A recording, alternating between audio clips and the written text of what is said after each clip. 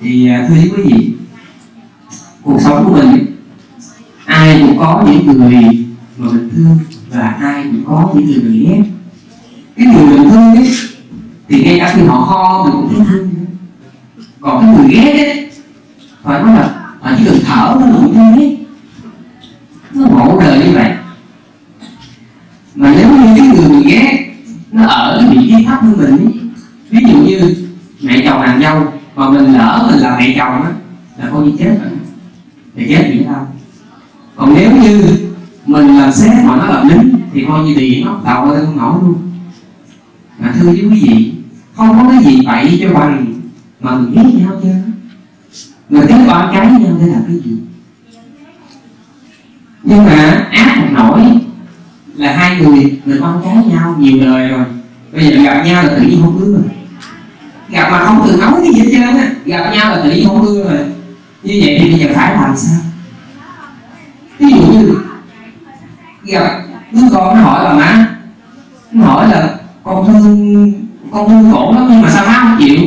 Không thể gì bà má nó, tại tao nói tao không thích. Vậy thôi à. Đó. Thì thưa quý vị rất nhiều người. Có thể là mình nhìn họ họ dốt có thể mọi người có thể là họ sát sanh trộm cắp tà dâm nói dối uống rượu. Nói chung là cái gì không có chuyện ác nào họ không làm hết. Còn nếu như thầy tu mình vô chùa nếu mình thấy thầy tu không tu chút nào hết. Ông mượn cái đi mượn cái áo đi ra ngoài ông chơi. Không khác gì người đời nhiều lúc mình bực, mình ghét. Nhưng mà tôi có gì? Đâu có ai bắt là đời đời kiếp kiếp được thầy tu. Không có những kiếp họ quên tu, mà ai ai mà ngờ có khi cái kiếp họ quên tu là cái kiếp này. Nhiều người nhiều kiếp họ tu rồi nhưng mà cái kiếp này ấy, do cái nghiệp quá khứ do cái nhân duyên nào đó họ quên tu đi. Và mình nhìn vô cái sự mà họ quên tu á mình thấy mình bao trái người ta mình thấy mình ghét người ta. Và xin thưa có một cái thông báo là nếu như mình ghét người ta mà người ta là phàm ấy, không có chuyện gì xảy ra hết. Nhưng mà lỡ ai biết đâu trong dòng sinh tử còn người ta chiến thánh thì sao? Mà lỡ cái người mình ghét á, mà họ chiến thánh á, là coi mình trúng số luôn. Thì thưa quý vị Đức Phật dạy rất là nhiều cách để mà mình giải quyết cái đối thủ của mình. Mình giải quyết những người mà mình ghét. Mình phải làm sao đó để mình hóa giải, để mình không có ghét nhau nữa. Chứ không lẽ bây giờ mình ghét người ta, giống như người bà ta, ghét bồ tát cái kiếp mà hai người ghét nhau hai người những bọn phàm mà ghét nhau tới cái mức độ thì bà ra tu hai a tăng kỳ kiếp nha thưa quý vị có nghĩa là tu rất là giỏi. Kiếp nào không gặp bồ tát tu bố thí gì giới tham thiền những dụng sinh tấn trí tuệ thiền định từ bi nghĩ xã đầy đủ hết. Nhưng mà cái kiếp nào gặp bồ tát á, là coi như không bắt đầu trời ơi đức hỡi tại vì hai người con thấy nhau tới cái kiếp cuối cùng bồ tát thành phật. Rồi thì đều là ta vẫn quan trái với phật. Để cuối cùng bị đất lúc trong khi đó ông đã tu hai a tăng tìm kiếp chứ không phải là ít mình chưa thấy mình tu được bằng cái bóng chân của ông đâu. Nhưng mà do ông quan trái với phật. Nên, trong dòng sanh tử luân hồi, chưa chắc ai nhân ăn mà người Việt Nam mình có cái câu là chưa thứ năm về chiều, chưa biết nào giàu hơn nào. Thì thường mình hay nói, nhất là cái gì pháp sư thì hay nói là hãy yêu thương tất cả mọi người, ngay cả kẻ thù của mình thì cũng yêu thương. Nhưng mà nhiều lúc cũng nghĩ muộn nói nói vậy thôi, chứ giờ về nhìn mặt thấy ghét thương sao hỏi thương thì hôm trước có một cô ờ, phật tử thì cổ có vô cô hỏi sư, như vậy nè, là hai vợ chồng ly hôn. Nhưng mà mỗi một lần mà anh chồng ảnh gặp con ấy hoặc là người nhà bên chồng mà gặp con gặp con của khổ. Mà chỉ cần mà không nghe tiếng bên chồng nó không cần nhìn mặt được chỉ cần nghe tiếng mà ai nhắc tới rồi đó thôi là khổ, chịu không nổi. Mà cũng đi chùa cũng kêu, mấy thầy, mấy sư, ai cũng kêu là thôi, thương người ta đi, thương kẻ thù đi, nhưng mà cũng nói con làm, không có được. Thì sư mới nói thì đúng như vậy. Cho nên cái bạn pháp sư, thì pháp sư nào cũng phải nói là hãy yêu thương kẻ thù của mình. Nhưng mà làm thì không có dễ. Tại vì sao? Một người chưa từng tu tập tâm từ từ kiếp trước, chưa từng tu tập cái tâm từ, họ làm không nổi cái chuyện đó. Và đời này cũng vậy, một người, họ cái tâm nóng giận họ mạnh, họ chưa từng tu tập cái tâm từ, họ cũng không làm được chuyện đó. Mỗi một chuyện đều có từng bước, từng cái cách giải quyết. Và đức phật chỉ nhiều cách lắm thưa quý vị nhiều cách lắm. Và đó là lý do mà sư thưa quý vị tại giới chuyện viết để để mình ghi lại những cái cách đó, biết đâu đó mình xài cái cách này, hoặc mình xài cái cách kia. Trong mười cách không lẽ mình không xài cái cách nào, đúng không? Cho nên có nhiều cách và cái cách đầu tiên mà đức phật dạy cho mình làm sao để giải quyết cái con người mà mình ghét thì chỉ là ghét. Đức phật nói như thế này, hãy xem xét lại cái hậu quả của cái tư nóng mình đó là cách đầu tiên hãy xem xét lại hậu quả của cơn nóng giận hậu quả là cái gì? Rất là nhiều hậu quả. Hậu quả đầu tiên là xấu từ phụ nữ cho đến đàn ông, ai cũng, không ai muốn xấu đúng không ai muốn đẹp.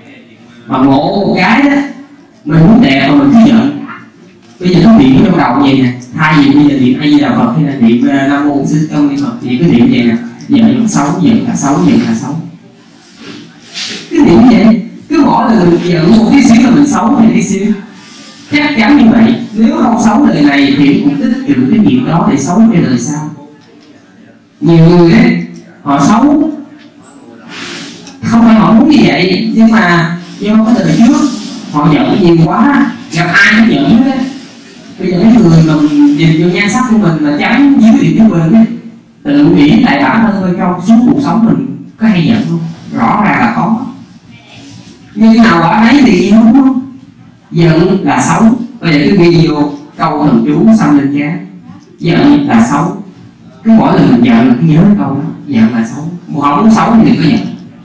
Đó tiếp theo, xét về cái tác hại của cái cơn nóng giận. Đó là khi mình giận rồi mình mất ngủ.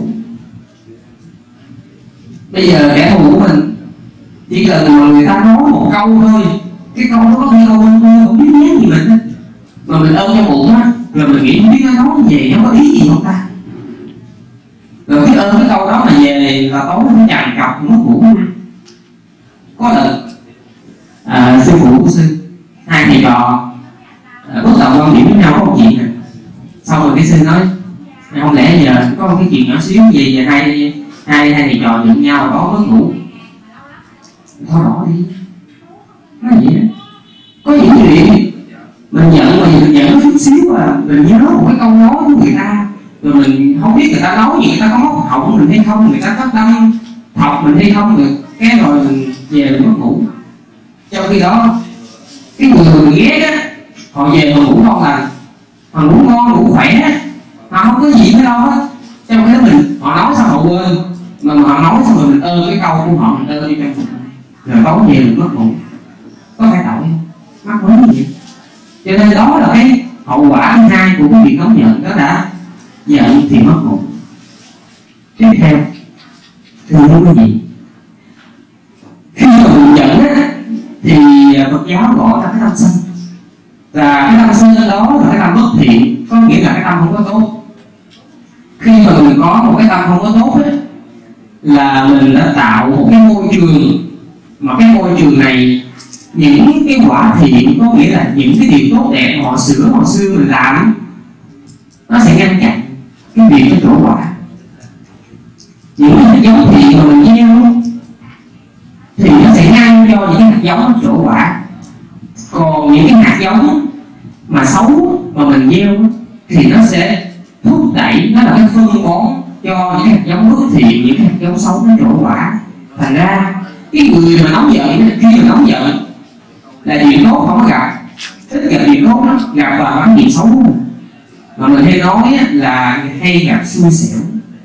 Nó như vậy thì người ở thế gian thì gọi là xui xẻo.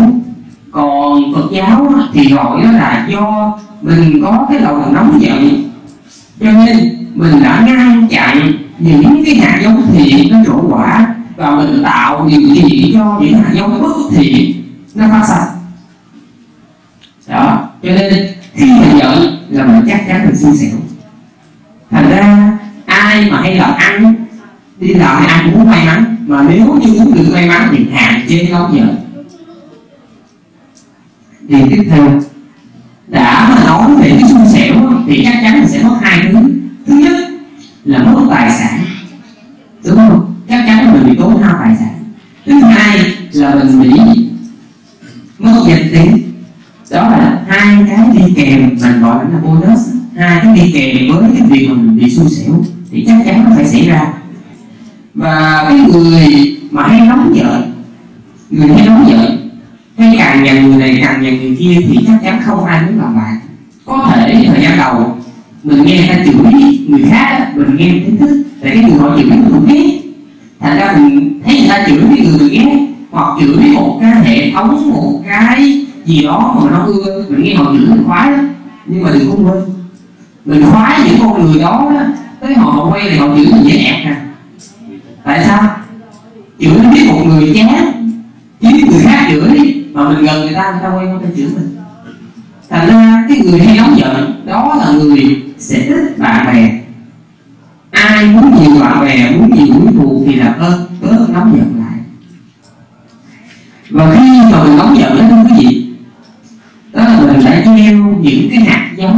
mình đi xuống địa ngục mà mình dạo ở dưới đó một vòng nếu như có một cái cảnh giới để cho mình tái sanh thì cái gì thử nghĩ hơn. Cái cảnh giới tái sanh đó nếu mà đó là cái cảnh người đó là cái cảnh trời đó là một cái cảnh tốt đẹp một cái cảnh giàu sang một cảnh sung sướng hạnh phúc thì cái cảnh đó chắc chắn không dành cho những người phóng dật, đúng không? Và thử nghĩ thôi bây giờ cái cảnh hạnh phúc không dành cho người phóng dật thì đi cách gì vậy thì cứ đi xuống đi đâu đúng không? Thành ra, cái người nóng giận là mình đã bắt đầu từng bước từng bước dẫn mình đi xuống những cái cảnh giới đọa lạc vì vậy, quý vị thấy, một người người ta giận mình thì giỏi lắm là người ta chửi mình. Giỏi lắm người ta đánh mình thì cùng lắm là giết mình thôi người ta không thể nào làm cho mình mất ngủ. Người ta không thể nào làm cho mình xấu xí. Người ta không thể nào làm cho mình đi xuống những đọa xứ. Trừ khi người ta đặt axit thì nó xấu thôi đó. Mà thử nghĩ người ta lúc nào người ta ghét mình người ta cũng muốn là, thôi, tôi mong cho anh mất ngủ, tôi mong cho anh xui xẻo, tôi mong cho anh xấu xí, tôi mong cho anh đi xuống địa ngục. Mà thì sự gì mình đi mình giận người ta thì có phải là mình chiều cho ý kẻ thù rõ ràng cái tâm nóng giận đó là cái con ong trong tay áo đó là con khỉ, nó giòn nhà. Mỗi một người đều mang trong mình những cái kẻ phản bội, những kẻ phản cách. Mà mình đem cơm đem áo, đem gạo đem tiền mình nuôi nấng nó, mình cung phụ nó. Nó là cái gì? Nó là cơn nóng giận mỗi lần mình giận là mình chìm theo ý muốn của kẻ thù. Kẻ thù muốn mình như thế nào là mình chìm theo ý của người ta, y cha như vậy. Cho nên, khi mà mình quán xét kỹ những cái hậu quả của cái cơn nóng giận á, ráng nhìn. Nhìn không chết ai mà nếu mà không nhìn á, là coi như mình đủ chịu đủ cái chuyện xui xẻo trên đời. Đó là cách đầu tiên. Mỗi lần nóng giận và nhớ nhớ cái câu gì câu thần chú nãy xin mới nói giận là xấu. Cứ nhớ vậy. Cái thứ hai, cái thứ hai dạy ráng nhớ được một vài cái ưu điểm của người ta. Tại vì con người mình ganh tị với nhau, bỏ sẻ với nhau, tại vì mình toàn à, thấy cái lỗi xấu của người ta là nhiều. Đa phần mình thấy lỗi xấu người ta nhiều, còn cái lỗi tốt người ta mình ít thấy. Bây giờ để tập lại. Do mình nhìn cái lỗi xấu của người ta nhiều cho nên cái mặt mình nó nhăn nhiều, cái dáng mình nó nhăn nhiều, mình xấu nhiều. Bây giờ để tập nhìn vào những cái chỗ tốt của người ta. Những chỗ tốt như thế nào? Ví dụ như tôi là mẹ chồng tôi không ưa cái cô con dâu. Nhưng ít nhất nó biết thương con trai của tôi. Nó biết thương nó biết thương chồng nó. Nó biết thương con nó. Thì thôi cũng được. Hay là uh, món ông sư món cái tướng ông. Ông làm ông hai cái là ông thở không làm cái gì hết à, nhưng mà ông học đạo được ông nói pháp được cho nên cho ông lương lên cho đẹp ngồi có khi mình ghét một ai đó thì hãy cố gắng nghĩ về những cái điểm tốt của người ta. Người ta có những cái ưu điểm gì? Thứ nhất nhìn ra được ưu điểm của người ta trong cái vai trò quản lý trong cái vai trò người ở trên thì mình có thể sắp xếp họ vào cái vị trí thích hợp cái thứ hai khi mình nhìn vào những cái điểm tốt của người ta, thì người ta dễ thương hơn chút xíu. Hãy thường suy nghĩ về những cái điều tốt, thưa quý vị. Đó là một cách. Còn nếu như mình nhìn hoài mà mình không thấy nó tốt chỗ nào hết, thì giờ biết sao vậy thì hãy làm theo cái cách thứ ba, cách tiếp theo. Là đức phật nói hãy nghĩ đến những cái quả báo mà họ phải chịu. Ví dụ như mình ghét đau quá rồi người ta làm hại mình, người ta làm nhục mình, người ta mắng chửi mình, người ta đánh đập mình. Bây giờ mình tức quá đi mà mình yếu thế mình cô thân mình không làm gì được người ta, thì hãy nghĩ đến cái quả báo mà họ phải chịu. Đó. Quý vị, một người khi mà họ làm một cái việc ác, khi họ làm một cái việc bất thiện thì họ phải chịu bốn cái quả khổ. Trong không một. Thứ nhất, đó là họ sẽ bị pháp luật trừng trị. Nếu mà có tội nhẹ nhẹ thôi không nhưng cái tội hơi nặng cái xíu họ sẽ bị pháp luật trừng trị. Cái thứ hai là họ sẽ bị tiếp lời chê trách. Làm đâu nhớ nói ăn, nhưng mà lỡ cái vụ nó xì ra ngoài là chắc chắn là thế nào cũng bị tiếng đời nó chê trách. Mà ác thì chắc chắn là họ phải bị cắn nước lương tâm đây là ghé tay chén có khi nghe thằng lạc nó kêu mình nghĩ sao cái bậy dữ vậy ta? Cái chuyện vậy mà mình cũng làm thì vào cái lúc nào đó trong đời mình sẽ cắn nước lương tâm về cái gì mà mình đã làm. Có khi tuổi trẻ, mình không có nghĩ gì đâu, nhưng mà đến lúc đã đủ thì già rồi có khi mình nghĩ lại những chuyện mà xưa hồi xưa rồi bắt đầu hối hận. Mình nghĩ không biết sao hồi, hồi xưa mình dạy gì hồi xưa mình ngu gì mình làm cái gì đó. Để chi? Mà cái con người mà mình lỡ mình làm sai cái con người nó không còn ở đó để mà mình xin lỗi. Hoặc là những lúc mình ngại sợ mất mặt sợ ta biết thành ra mình không dám xin lỗi. Để mà mình ơ cái chuyện đó mình ơ nó trong bụng. Đó cái quả báo thứ ba của cái người làm ác quả báo thứ tư đó là họ chịu cái ác nghiệp, cái quả báo cho đời sau kiếp khác. Và thưa quý vị, cái này mới là cái nặng nhất. Thì ờ, cho xin ờ, ba mươi giây quảng cáo ha. Là trong suốt cái thời gian qua đó, là mỗi một tuần mỗi một, chủ nhật, là sư tổ chức một cái lớp coi ba giờ để mọi người cùng nhau ngồi thiền. Ngồi thiền xong tới ờ, bốn giờ rưỡi thì bắt đầu là thuyết pháp. Thì cái thời pháp sư thuyết suốt mấy tháng trời sư không nhớ họ bao nhiêu tháng. Họ nghe nhiều rất là nhiều. Sư kể cho mọi người nghe hướng dẫn chi tòa bộ nói về giới luật thôi. Giới năm giới của người đại gia cư sĩ. Nói suốt mấy tháng trời. Mà khi mà mình phân tích ra đó mình mới thấy sợ. Là mỗi một lần mà mình phạm giới đó thưa quý vị trời ơi đi địa ngục nó bị mài đi hết địa ngục này qua tới địa ngục khác. Dạo hết cảnh khổ địa ngục chán ghê rồi bắt đầu đi xuống nhà quỷ qua nhà quỷ đi qua hàng súc sanh. Tới súc sanh rồi đó được một cái cơ may hãng hữu nào đó của một cái việc thiện kiếp trước. Được lên làm người, tưởng sao? Chịu một đống cái tai nạn. Xấu là chuyện nhỏ, tài tật mới là chuyện lớn. Dốt là chuyện nhỏ, khùng đi mới là chuyện lớn. Nhiều rất nhiều cái việc mà mình làm đâu có biết đâu. Mình cứ tưởng đấy mình đập một con mũi đời sau mình làm mũi đập lại người không có người không hề người. Cái chuyện mình cái chuyện con mũi là hai hai đứa oan trái với nhau là chuyện nhỏ. Mà cái nghiệp mà mình phải chịu nó là chuyện lớn. Thưa quý vị ờ, để coi bà mặt lệnh nhân từng có một kiếp quá khứ bà cắt cổ một con dê để bà đãi tiền cho khách. Bà chỉ cắt cổ một con dê. Mà bà nhờ có trí nhớ của tiền nghiệp. Và nói, sau khi mà dạo hết cái cảnh khổ địa ngục đi nhà quỷ xong rồi cái kiếp khi mà làm súc sanh, cái kiếp mà làm người, cái số lần mà bà bị chặt đầu, nó nhiều như số lông của con dê mà bà đã cắt cổ năm xưa. Cái gì nó kinh khủng mình biết không mình mà mình là ý kiếp mình bị chặt đầu có ăn bao giờ rảnh đi đến con dê nó bao nhiêu sợi lông mà cái số khí mà bị bà bị chặt đầu trở lại đó, nó nhiều như số khí con dê. Bây giờ mình nhìn thấy mấy người mà khủng bố y á họ cắt cổ người ta mình thấy ớn.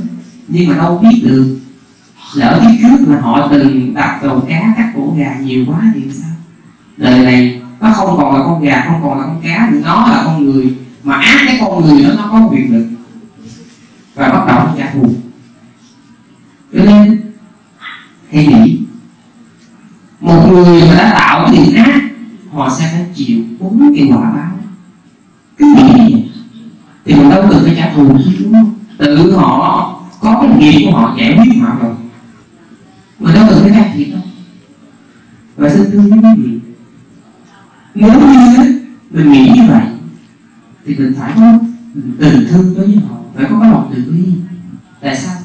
Vì ác thì mình có thể ghét. Nhưng mà cái người làm ác thì hãy thương người ta. Phải thương nhất tại vì sao? Họ chịu bốn thứ rồi mà. Pháp luật trừng trị. Rồi cái gì? Tiếng đời chưa chắc. Rồi cái gì?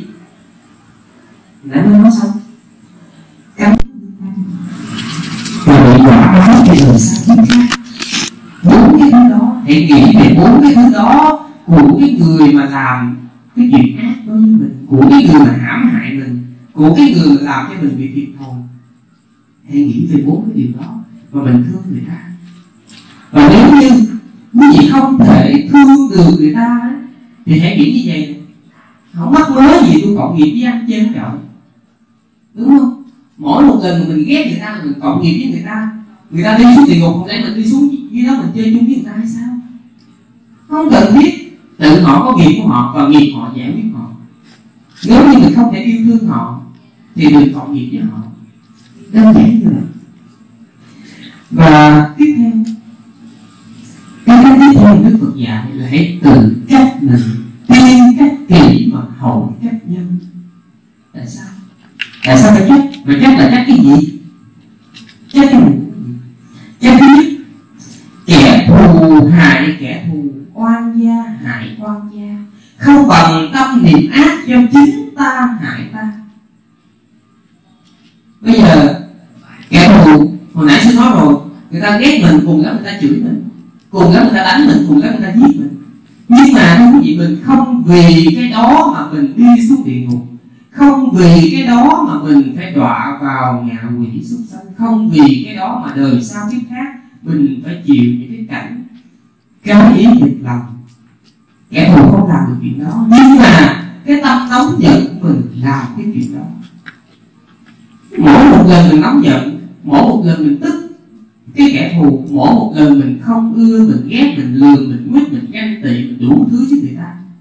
Mỗi một lần đó là mình đã tạo nên cái tâm sân. Mình đã tạo nên cái ác nghiệp. Và cái ác nghiệp đó, nó dẫn mình đi địa ngục, dẫn mình đi luân hồi. Và luân hồi này là luân hồi khổ cứ mỗi lần mình giận, hồi nãy xin nói rồi, giận là xấu đi chút xíu, mà giận nhiều quá, từ hồi nhỏ đến giờ mình giận nhiều quá thì đảm bảo đời sau má gì không ra luôn cho nên, kẻ thù hại kẻ thù, oan gia hại oan gia, không bằng tâm niệm ác do chính ta hại ta. Nghĩ như vậy là chấp được. Tại sao mình giải như vậy, may mắn đời thì học phật. Nhưng mà học phật không biết là mình dạy tới mức nào nghĩ như vậy là cách vi phạm thân mình cái thứ hai. Cứ nghĩ như vậy nó đúng gì mình là cái người tu phật thì tại sao mình để cái cơn nóng giận đó nó kiểm soát mình chẳng phải đức phật đã cái cơn nóng giận nó giống như một cái ngọn lửa nhỏ, có thể thiêu rụi cả một khu rừng công đức. Chỉ cần mình giận lên, đâu là giới, là định, là tuệ, biết sạch nó mất sạch. Chỉ cần mình giận lên là mình không giữ giới được. Mình giận lên bao nhiêu phước đức, bao nhiêu cái mà mình đã dày công mình tu tập. Chỉ cần một cái đốm lửa của sự hận thù, nó sẵn sàng đốt trụi tất cả những thứ mà mình đã dày công. Không có gì hết đề mà đặt ra, tu hai a tăng kỳ kiếp chỉ vì kiếp cuối cùng gặp vật quan cái đời xưa, kết gây hận thù. Để rồi phải xuống địa ngục ác đi. Đâu có đáng đâu. Ăn sợ thế cũng tu một trăm ngày lại kiếp đức phật nói lẽ ra đấy. Trong cái bài kinh bài kinh thứ hai của trường bộ. Tự nhiên bây giờ xin quên mất tên ờ, sa môn quả.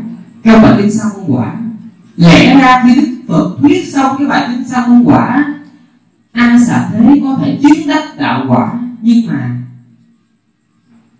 vì giết vua cha mà tại sao giết vua cha bởi vì ông mang tên a xà thế có nghĩa là kẻ thù từ kiếp trước, kẻ thù chưa sinh ra.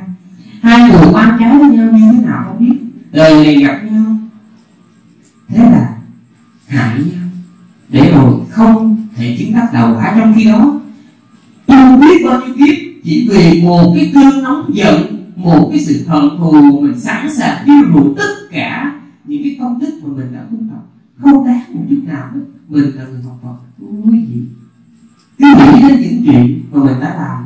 Quý vị vậy không tu tập biết bao nhiêu. Mình đã bố thí này, mình đã trì giới nè mình đã tu thiền mình đã buông ngồi. Biết bao nhiêu là biện pháp thì không có cái lý do gì để mà mình để cái sự nóng giận để cái sự hận thù nó chiếm đoạt mình. Nó đốt sạch những cái công đức mà mình đã tạo.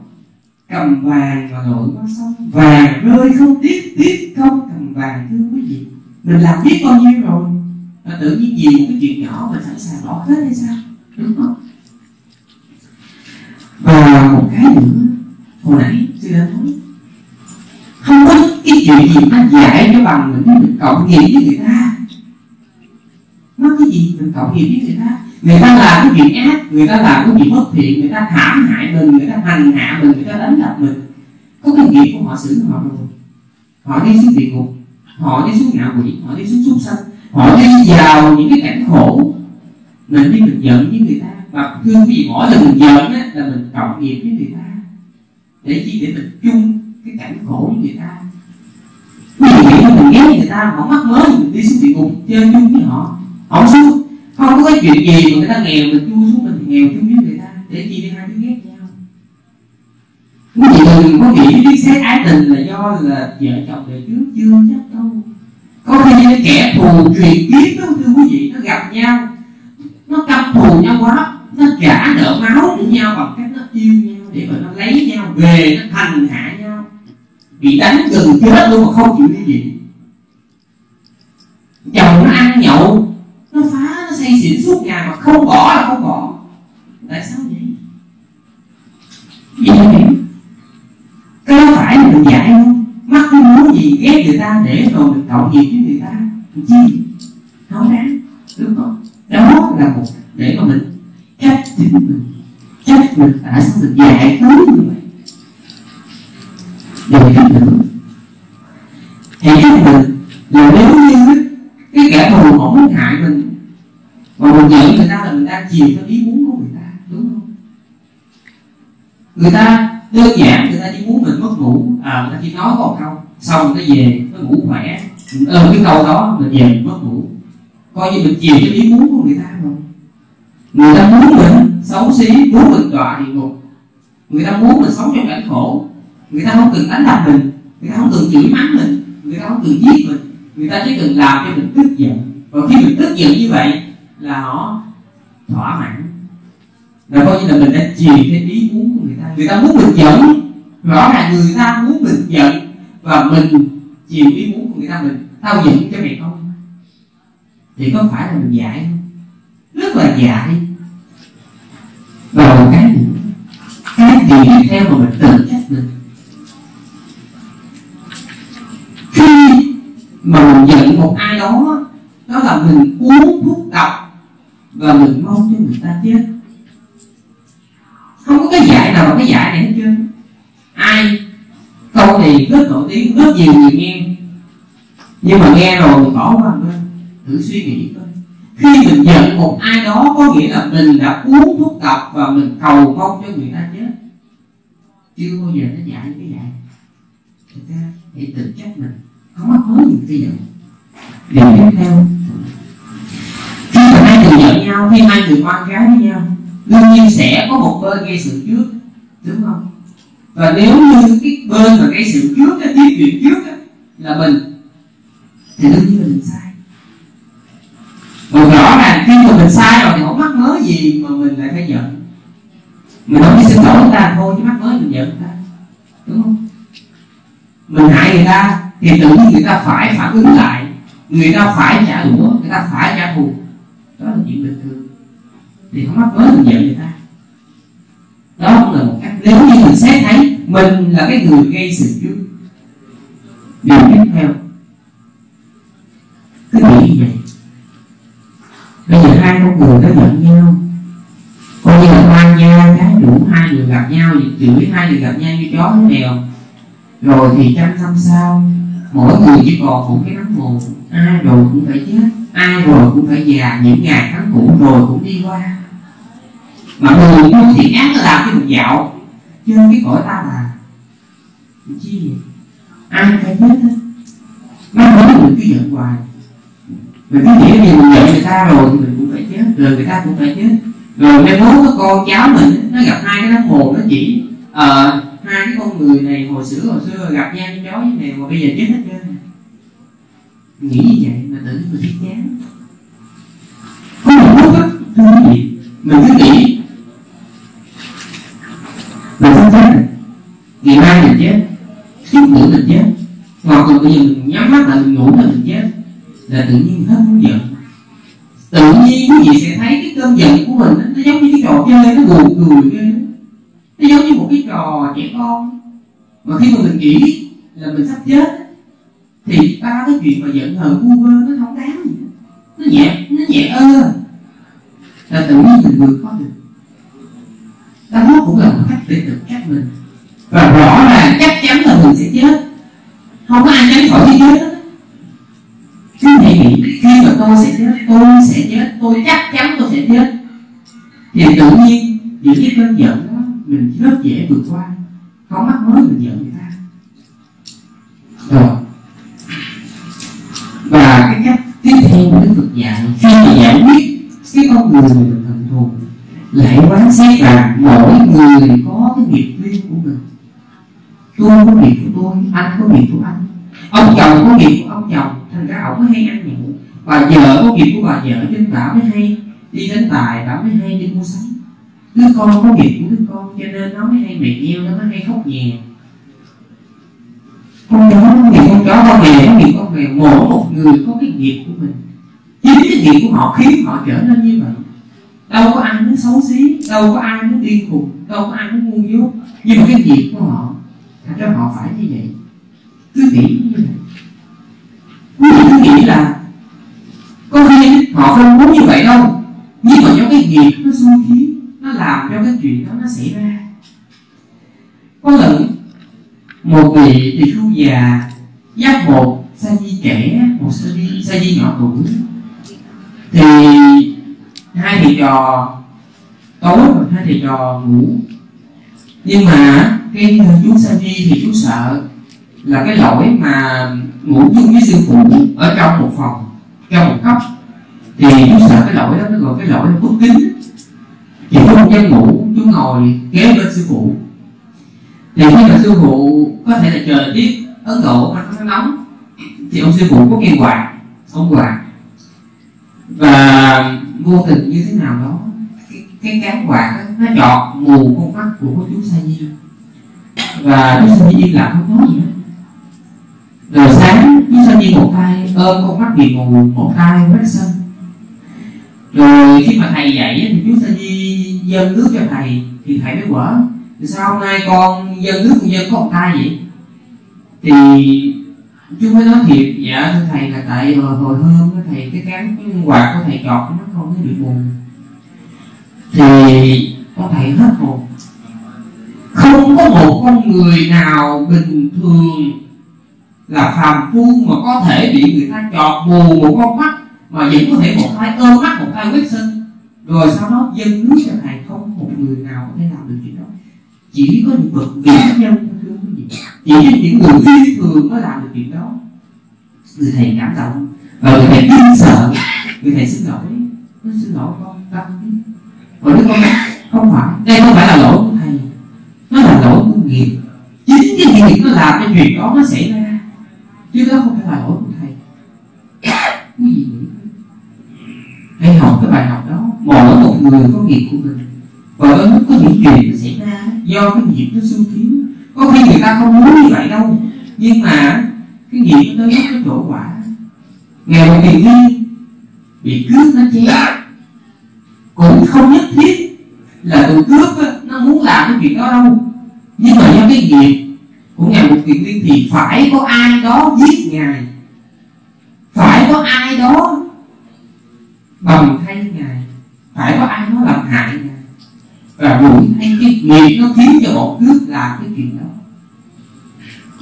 có lúc cái nghiệp nó vô tình lớn như vậy thưa quý vị mình còn mang cái thân sinh tử, mình còn mang cái kiếp luân hồi là mình còn bị sự chi phối của nghiệp. Mình là người thừa tự của nghiệp, là chủ nhân của nghiệp và mình phải chịu nghiệp. Không ai tránh được. Nghĩ như vậy là tha thứ. Có khi họ không muốn như vậy đâu. Mà cái nghiệp của họ khiến họ phải ở trong cái tình thế đó. Và nó lúc mình tự đặt mình trong cái tình thế nó có khi mình còn làm ác hơn họ nữa kìa điều tiếp theo. Hãy nghĩ như vậy nè, có khi mình gặp những người mà người ta giận mình, người ta đánh mình, người ta chửi mình. Hãy nó tới một cái câu chuyện của đức phật. Đó là khi người ta giận mà mình không có giận, thì chuyện gì nó xảy ra? Có một lần cùng với chư tăng đi ôm bác đi khất thực. Thì có một ông bà lão môn, ông ghét phật lắm. Ông chửi phật từ đầu làng cho tới cuối làng. Phật không nói năng thế nào hết trơn rồi tới cuối cùng ông tức quá thì ông mới tới, ông chặn đầu đức phật. Ông nói sao môn gotama ông có bị tiếc không? Đức phật nói, như lai không có tiếc ông bà lão môn nói, ông không có tiếc vì tại sao mà cứ chửi ông không trả lời? Thì đức phật mới nói bây giờ giả sử á ông có một cái buổi tiệc ông mời khách khứa người ta tới rồi mỗi người tới ông đều tặng các món quà. Rồi thí dụ mà lỡ như có người người ta không chịu nhận quà cái quà đó thuộc về ai? Ông bà muốn thì thuộc về tôi. Thì đức phật nói cũng y chang như vậy. Hiểu gì không? Khi người ta giận mình khi người ta đánh mình người ta chửi mình người ta tức giận với mình người ta trả thù mình người ta oan trái với mình mà mình không làm gì hết. Là tự nhiên cái quả mà tự mình chỉ cần mình suy nghĩ trong bụng à tôi không nhận quà của anh, vậy thôi. Anh ai cái quà đó tới tôi tự anh ăn về. Anh chửi tôi tôi không nghe. Anh ráng anh chịu. Đúng không? Cứ nghĩ vậy, người ta giận mình, nhưng mà mình không giận, thì cái giận đó nó trả ngược lại người ta. Mà bên ờ, Trung Quốc người ta gọi là cái chiêu là thái nhật quyền.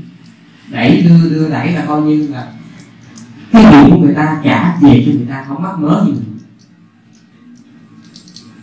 Mình và cái cách tiếp theo là tiếp tục nói, là đi học theo hạnh của thế tôn. Học theo hạnh thế tôn thì học như thế nào?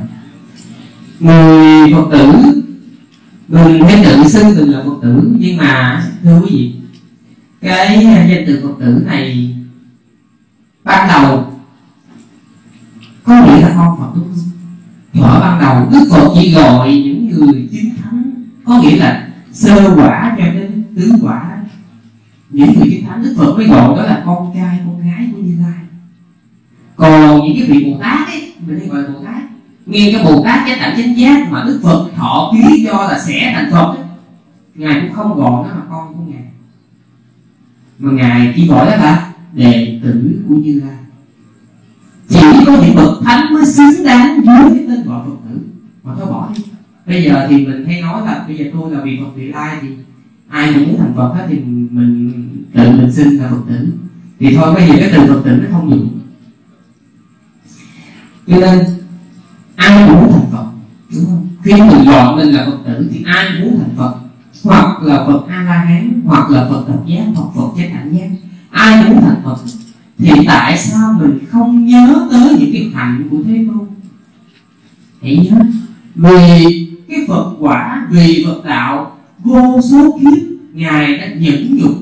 Vô số kiếp, ngài đã bị chịu oan ức. Ngài bị hành hình, ngài bị người ta đánh chửi, bị đâm, bị chiến bị giết. Ngài không bao giờ bị oán hận một câu. Cái xương mà ngài bỏ ra nó nhiều hơn núi tu di cái nước máu mà ngài bỏ ra nước mắt và máu mà ngài bỏ ra nó nhiều hơn nước trong bốn vị. Mà ngài đổ ra vì chúng sanh. Nếu như ngài không vì cái lòng đại bi mà ngài thương mình ấy, là bốn a tăng kỳ và một trăm ngàn đại giết về trước ngài đã đắc đạo quả a la hán rồi. Mà chính vì ngài thương chúng sanh. Cái tình thương của ngài là vô bờ vô hạn và vô biên. Vì đại trí cho nên ngài tìm cái con đường giải thoát và vì đại bi cho nên ngài không thể thở đi một mình. Ngài thấy mình có thể đi qua sông. Nhưng mà biết bao nhiêu người đang lặng thực ở dưới đó. Tại sao mình không đóng một chiếc bè mình chở mọi người qua sông? Hãy nghĩ về công hạnh của đức phật. Ngài đã hy sinh cho mình biết là bao nhiêu. Ngài đã hy sinh cho đạo quả, hy sinh vì chúng sanh nhiều biết là bao nhiêu tự nhận mình là phật tử. Tự nhận mình là người tu theo phật. Tại sao không nghĩ mà thương phật? Không nghĩ mà học theo hạnh của ngài? Mình chỉ cần được một chút xíu thôi thưa quý vị Đức Phật nói, cái người mà giả sử á, người ta cầm cái cưa, người ta cưa từ ra, người ta cưa từ từ từ từ từ từ. Mà nếu như mình có cái lòng giận dữ thì đó là người không có phải là người học theo hạnh của thế tôn. Không phải là người làm theo lời dạy của thế tôn. Ngài đã bỏ ra bao nhiêu kiếp? Ngài hy sinh vì chúng sanh ngài đã dùng chính bản thân ngài làm cái ví dụ sống về cái tình thương, về cái lòng hy sinh, về cái sự nhẫn nhục. Vậy mà mình học theo ngài thì mình tại sao bây giờ mình lại nở ôm một cái lễ hận thù ôm một cái sự kỳ mà mình ôm cái trong bụng để làm cái gì? Có phải là mình đã đi ngược lại lời dạy của ngài hay không? Tự xưng mình là phật tử, tại sao mình lại không học theo ngài? Quỳ dưới chân phật lại phật là mình lại cái gì? Vậy cái trí tuệ của ngài. Ngài đã chỉ mình con đường giải thoát. Lạy cái lòng đại bi của ngài vì thương xót chúng sanh mà ngài không nở đi một mình học cái hạnh của ngài là như vậy đó quý vị và điều tiếp theo cái tiếp theo của Phật dạy, để mà hóa giải con kết hóa giải hận thù là hãy đoán xét rằng mỗi một chúng sanh đều là huyết thuộc của mình.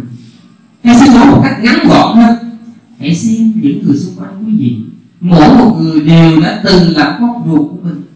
Hãy nhìn người ở bên tay trái người ở bên tay phải, người đằng trước, người đằng sau. Mỗi mỗi người mà mình có thể nhìn thấy, họ đều đã từng là con ruột của mình, thưa quý vị. Đức phật đã nói, thật khó để tìm một cái chúng sanh nào chưa từng làm con ruột của mình, chưa từng làm cha, làm mẹ, làm anh chị, làm thân bằng huyết thuộc của mình. Thật khó để tìm một người như vậy. Cho nên, tất cả chúng ta đều từng là quý thuộc của nhau. Nhưng mà chính cái sự nghiệt ngã của cái dòng sinh tử luân hồi, khiến cho mình quên đi. Và khi mình quên đi, mình lại sinh ra cái lòng thù hận.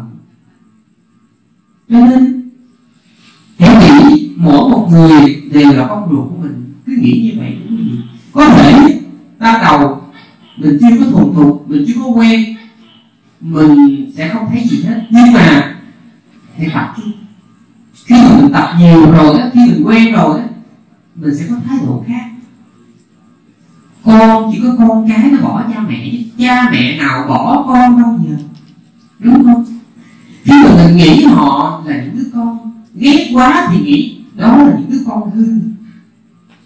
Nó hư thân mất hết nhưng mà cha mẹ thì vẫn cứ yêu con, vẫn cứ thương con. Đó là một cách thú vị. Hãy nghĩ rằng những người mà mình ghét đó chính là con ruột của mình. Chẳng qua, đó là những đứa bé hư. Và mình không có cái điều kiện để mà mình dạy dỗ. Hãy nghĩ như vậy. Thường suy nghĩ như vậy, mình sẽ thay đổi cái thái độ của mình. Một cách nữa đức phật dạy đó là xem xét cái quả báo hay còn gọi là xem xét cái lợi ích của việc tu tập cái hạnh từ bi?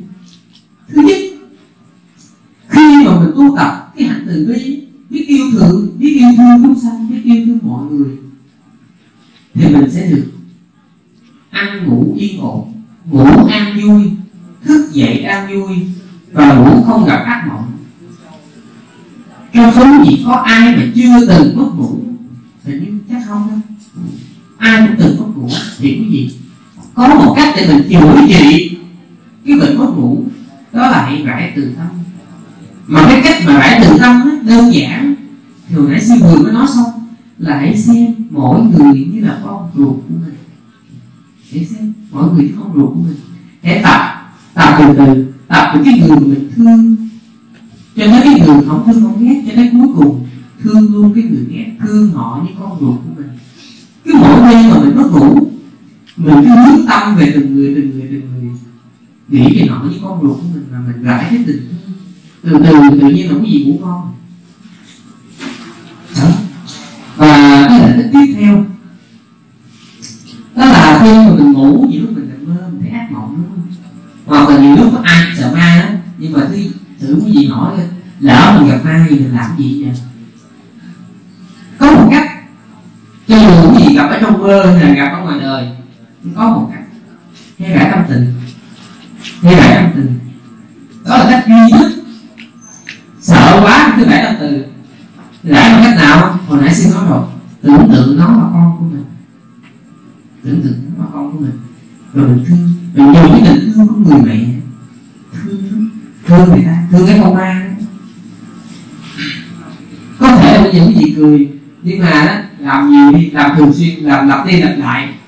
Thứ nhất cứ yên tâm là nếu như quý vị tu tập từ tâm là mình không ngủ mơ thấy ác mộng đâu. Và nếu như mà mình mơ thấy cái gì cái kia thì cứ tiếp tục vẽ tâm tình. Và điều tiếp theo, cái người mà có từ tâm thì họ sẽ được mọi người thương mến. Họ sẽ được chư thiên thương mến. Họ sẽ được phi nhân thương mến. Thường mình hay cầu xin xin đủ thứ người xin Phật, người xin chư thiên, người xin hộ trì xin long dương càng thác bà, thiên long pháp bộ long thần hộ pháp đủ xin chạy đó thì xin là xin vậy, nhưng mà coi giờ quý vị đặt câu hỏi là mắc mớ gì người ta giúp mình? Người ta không có bổn phận gì người ta giúp mình trên trời. Thì mình phải làm sao đó thì người ta giúp mình? Thì cái làm sao đó nó không phải là có lộ người ta. Tại sao vậy? Cái cảnh giới người ta sướng mình nhiều mình hối lộ hối lộ không tới, xài không tới. Thì có một cách đó là hãy làm cho người ta thương mình, đúng không? Khi người ta thương mình thì người ta giúp mình, chứ người ta không không thương mắc mớ người ta giúp mà trong khi đó. Nếu như mà có một ai đó mà sẵn sàng giúp tất cả mọi người, thì đương nhiên họ sẽ ưu tiên giúp cái người họ thương trước. Và để mà người ta thương mình, cho dù đó là con người, hay là phi nhân hay là chư thiên thì hãy tu tập cái tâm từ. Và khi mình tu tập tâm từ, tự nhiên mình sẽ được nhiều người yêu mến. Bạn bè của mình, những cái loài người, những cái con người chung với mình, họ thương mình. Thiên nhiên cũng thương mình không phá mình. Thiên thiên cũng thương mình, hộ trì mình. Ai cũng muốn được may mắn, ai cũng muốn được hộ trì, ai cũng muốn được làm ăn cho nó tốt. Đúng không? Lúc nào mình cũng làm cái chuyện quý vị đi chùa nhiều gì hay nhớ? Hồi hướng tới chư thiên. Mình hay làm cái chuyện đó. Nhưng mà đó, bây giờ mình biết thêm một cách nữa. Thay vì hồi hướng tới chư thiên, bây giờ mình biết thêm một cách nữa là hãy tu tập từ tâm. Khi mình có từ tâm là tự nhiên người ta thương mình. Mà người ta thương mình là chắc chắn người ta giúp mình. Tu bằng cách nào? Nói nói luôn nói hoài, nói nào nhớ thì thôi. Nghĩ tới mọi người như là con ruột của mình rải cái tình thương như là tình thương của người mẹ. Để ráng tu tập từ và điều tiếp theo nữa, xin thông báo một tin. Cái đề mục từ tâm là đề mục duy nhất có thể can thiệp vào sức khỏe và tánh mạng của người hành trì đối với phạm phu, bậc thánh họ có cách khác. Nhưng đối với phạm phu chỉ có đề mục từ tâm nó có thể can thiệp vào sức khỏe và tánh mạng của cái người nhập định về một từ tâm. Tại sao vậy? Vì khi mình có từ tâm, nhập định trong đề một từ tâm, thì mình sẽ không bị hại bởi thuốc độc không bị hại bởi vũ khí, và không bị hại bởi bất cứ ai. Ngay cả thiên tai hỏa hoạn nó cũng trừ mình ra đó là lợi ích của từ tâm. Mà tất cả những đề mục thiền khác, nghe cái niệm phật, niệm pháp, niệm tâm, thì cũng không có cái lợi ích đó. Đương nhiên có lợi ích khác, nhưng mà nếu như mà nói về cái sự bảo hộ sự bảo vệ đề mục từ tâm đối với phật phu là số một. Điều tiếp theo, cho dù quý vị tu, bốn mươi đề mục thiền định, quý vị tu đề mục nào đi chăng nữa cho dù vị tu thiền quán tứ niệm xứ thân thọ tâm pháp vị tu cái kiểu gì đi chăng nữa người có từ tâm dễ định tâm hơn người khác. Hay nói ngắn gọn người có tù tâm người có từ tâm tu dễ hơn người khác. Cho nên tâm tự nó còn có nơi còn gọi là thiền bảo hộ. Không biết thiết phải bảo hộ cái, cái thân thể này mà nó là bảo hộ cái tâm của mình người có tự người tu tập từ tâm, tu bất kỳ một cái pháp môn nào đều dễ hơn người khác rất nhiều. Và lợi ích tiếp theo nữa, hồi nãy có không khi mình giận là mình xấu đi chút xíu. Và khi mà mình tu tập từ tâm là mình đẹp đi một tí xíu. Ví dụ mình có nghĩ cái đẹp này mình có thể mình ăn gian, có thể mình gian lận bằng nhiều cách. Ví dụ à, bây giờ tôi cúng uh, cái này tôi cúng cái kia tôi cúng bông tôi cúng trái cây tôi cúng nhang cúng đèn cúng đủ thứ hết. Tôi chỉ cần tôi nguyện là cho tôi đẹp là tôi được đẹp. Đúng chuyện nó không sai. Khi quý vị bố thí cúng dường quý vị cầu mong cho quý vị được đẹp có trong hay không. Nhưng mà đẹp có nhiều cái đẹp. Có cái đẹp nó chỉ đủ để người ta chơi qua đường. Có có. Có những cái đẹp người ta nhìn vô người ta chỉ muốn làm những cái chuyện nó bậy bạ với mình thôi. Nhưng mà có những cái đẹp, người ta muốn rước mình về là bà nội người ta. Có những cái đẹp người ta muốn đem mình về, người ta thờ phụng. Có những cái đẹp mà người ta chỉ muốn bảo vệ, người ta nâng như nâng kính hướng những hướng hoa có cái gì. Hai cái đẹp nó rõ ràng, nó khác nhau, cũng là đẹp đó mà hai cái đẹp nó khác nhau. Đẹp, nó có nhiều cách để đẹp, nhưng mà trong giới hạn, cái bài thuyết pháp này xin đề nghị gì tu tập để được đẹp bằng từ tâm. Người có từ tâm, cho dù tám, chín chục tuổi, họ vẫn đẹp như thường. Cho dù họ mặt của họ đó nếp nhăn nếp nhăn nó đầy nhiều hết họ vẫn đẹp như thường. Có không? Có. Rất nhiều người, họ chỉ cần họ có từ tâm thôi. Da họ là da đồ ngồi, người họ già khọm, người họ da xấu xí, nhăn nheo. Coi như nó xấu đủ đường hết nhưng họ hiểu sao mà vẫn thấy họ đẹp đó là nhờ cái gì nhờ họ có từ tâm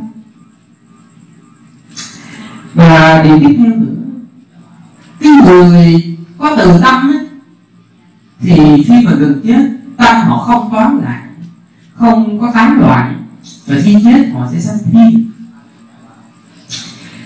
trong cái bài thuyết pháp đầu tiên sư thuyết ở chùa Nam Tông sư có đề cập tới một cái bài kinh gọi là kinh sừng bò. Đức Phật nói cái người mà chết rồi đường sanh về cõi người cõi trời nó ít như là cái sừng bò. Còn cái người chết rồi mà đi xuống bốn cái cõi xa đọa nhiều như là đâu còn và câu hỏi của sư trong cái bài pháp đầu tiên các sư nói, làm sao để mình trở thành cái sừng bò chứ đừng làm lông bò? Và câu trả lời đó trong bài thuyết pháp này đó là hãy tu tập từ tâm. Khi mà quý vị có từ tâm, khi chết tâm mình không tán loạn. Và khi tâm không tán loạn, mình có cơ hội thực hành theo giáo pháp của đức thích tôn. Và khi có từ tâm, nếu như quý vị không chứng đắc thiền định đủ để sanh về cõi phạm thiên thì cái phước của cái từ tâm cũng đủ để mình sanh thiên được quý vị. Đức phật nói, cho dù mình bố thí suốt cả một đời mình bố thí chọn cả cái quả địa cầu, ai xin cái gì cũng cho. Bố thí suốt đời nhiều tới như vậy, không bằng một người tu tập bốn cái vô lượng tâm từ bi hỷ xã chỉ trong vòng một cái khẩy móng tay. Nếu quý vị phước, bố thí rõ ràng có phước, nhưng phước không bằng quý vị tu tập từ tâm. Nếu như mình thích phước, yêu yêu mến phước, muốn có phước hãy tu tập từ tâm và nếu như tất cả những cái cách mà sư dường có nói đó những chưa giúp quý vị ngu nhận thì hãy nghĩ như vậy. Nên đối với cái người mà tu tập tứ niệm xứ thì hãy nghĩ mỗi chúng sanh là một tổng hợp của danh và sắc. Thì thôi nếu còn ai mà tu tứ, tứ niệm xứ thì tự gì biết. Còn với ai mà không biết tứ niệm xứ là cái gì hết á sẽ nói đơn giản như vậy thôi. Không biết một trước gì học sinh học cái gì có biết không? Mỗi một người là cấu tạo của vô số cái tế bào. Vô số cái tế bào. Nhìn tới nhìn lui, nhìn từ đầu đến tới chân, toàn bộ là tế bào nó kết hợp lại thôi. Nó kết hợp lại, nó hoạt động. Không có một cái tôi nào hết. Không có một ai, một cái đối tượng nào hết. Và chính thì không có ai, mỗi một người đều là những cái tế bào. Nó tổng hợp lại, nó tạo nên một cái mà mình gọi là ông sư một cái mà mình gọi là uh, đàn ông đàn bà là con này con kia người này người nọ để chi để mình thương để mình ghét. Thực tế mỗi một người đều chỉ là những cái tổng hợp của những cái tế bào. Nó mới bự hơn tí xíu là tổng hợp của cái gì? Tóc lông móng răng da thịt gân xương tủy mật tim gan mật đàm mũ máu. Nó không có gì hết. Không có một ai hết thì mắc mới gì được giận với người có căn duyên quán xét danh sách thường suy nghĩ về cấu tạo của cơ thể của mình. Để thấy rằng không có một ai để mình giận và điều cuối cùng nếu như các bạn quý vị nghe pháp từ đầu buổi tới giờ đó, mà những chưa tìm thấy một cái cách nào để mà mình hóa giải cái hận thù để làm cách cuối cùng là hãy tặng cho người ta một cái món quà cái món quà nó phải là món quà có giá trị. Mà thật sự có, nó rất là có giá trị đối với mình. Và mình tặng nó bằng tất cả tấm lòng. Ráng tìm cho được cái chỗ người ta dễ thương. Ráng thương ta chút xíu. Hãy ráng để mà mình nhìn người ta ráng nặng ra một cái nụ cười. Để chi? Mình tặng cho người ta cái món quà để người ta không nghĩ là mình chia sẻ ráng tặng ở tất cả các mặt tặng người ta cái món quà. Cứ Phật dạy, đó là cách để hóa giải cái ân oán tiền kiếp của mình. Bây giờ quý vị đã thấy tại sao sư đưa cho quý vị tờ giấy ghi viết chưa đó là bởi vì nếu mà quý vị không ghi rồi quý vị sẽ quên. Ghi lại, rồi biết đâu đó có một ngày mà mình giận quá, không biết sao hết. Là ơn nhớ à, hôm nào cái viên con xin hành tuệ ổng có dạy một đống cách. Thôi bây giờ mở ra con có cách nào xài được không? Vậy ha. Thì trong suốt buổi giảng ngày hôm nay nếu như mà có một cái lợi ích gì giúp cho quý vị tu tập trên cái con đường giải thoát thì nó hoàn toàn nhờ vào trí tuệ của đức phật và chư thánh tăng. Còn nếu như có một cái khuyết điểm nào về cái nội dung cũng như cách trình bày thì đó là lỗi của cá nhân sư và xin chia đều cuộc phước này đến tất cả chúng sanh. Nguyện cho tất cả chúng sanh được tưởng tùy ý. Sau khi đã thọ hưởng rồi, được thoát khỏi những điều thống khổ. Được kết quả là người, quả trời cùng quả niết bàn, nguyện cho tất cả chúng sanh đừng có quan trái lẫn nhau hãy cho được sự an vui đừng có khổ đừng làm hại lẫn nhau đừng hẹp lừng. Hãy cho được sống lâu đừng có bệnh hoạn. Hãy cho được thành tựu đầy đủ hãy giữ mình cho được sự an vui. Tất cả chúng sanh đến khổ rồi xin đừng cho có khổ. Đến sự kinh sợ rồi xin đừng cho kinh sợ. Đến sự thương tiếc rồi xin đừng cho thương tiếc. Nguyện cầu tam bảo từ hàng lộ nguyện thoát qua thai nước lửa đức nguyện thảy chúng sanh khỏi quan kết nguyện cho nhân loại sớm tu hành. Nguyện nhìn tâm học giới định tuệ. Nguyện đoạn tham sân si động sanh. Nguyện giải các nhân sanh tử khổ. Nguyện diệt tâm tham háo lợi danh. Nguyện tu tinh tấn không giải đại nguyện sao đạo quả sớm viên thành nam mô Bồ Tát, à, nam mô Tam ma à, nam mô sắc